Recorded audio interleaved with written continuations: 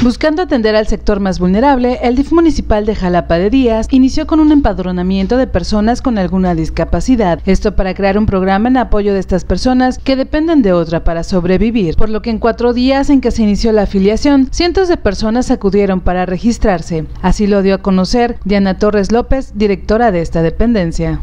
Pues la verdad existen muchos discapacitados en todas las comunidades, pues sí han sido un poco abandonados por administraciones pasadas. Entonces ahorita lo que estamos haciendo es este, recolectar documentos para tocar puertas y ver qué tipo de apoyo se les puede dar. Sí, porque anteriormente cobraban unos, pero no todos. Y entonces hace unos días estuvimos con la titular María del Rocío García Pérez eh, eh, para ver qué tipo de apoyos tenía. Entonces sí, la verdad tocamos esa puerta y gracias a Dios sí, este, nos parece que nos van a dar todos los apoyos.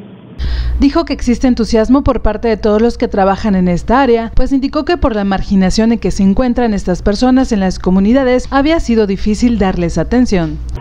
Eh, pues mira, hay discapacitados o personas que tocando puertas para apoyarlas con terapias, así, yo creo que podemos lograr para que tengan una mejor vida. O sea, no dejarlos abandonados para que ellos sientan también que pueden trabajar, que vale lo mismo que cualquier tipo de persona.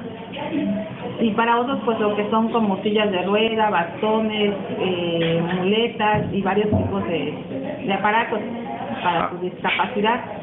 Señaló que gracias a este programa y al enlace que tuvieron con el DIF nacional, los apoyos se darán de manera directa y sin intermediarios a las personas que necesiten implementos para su rehabilitación o en otros casos para que sean activos y emprendedores.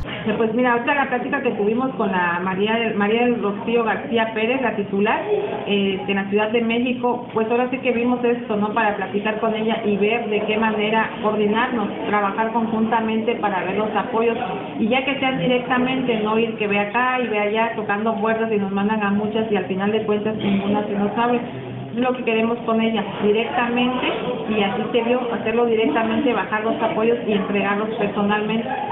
Por otro lado, la presidenta del DIF, María Fernanda Barbosa Sosa, explicó que la recepción de solicitudes para matrimonios concluyó desde el lunes y que 51 parejas fueron registradas en total, teniendo la oportunidad de darle certeza jurídica a su relación con el apoyo del gobierno municipal. En esta ocasión se pretende realizar una tradicional boda jalapeña mazateca, por lo que se les está invitando a los futuros contrayentes y dependiendo de sus posibilidades, utilizar la indumentaria típica de este municipio para darle más realce a este evento que será histórico. Con información de Alejandro Morales, reportó Claudia Ortega.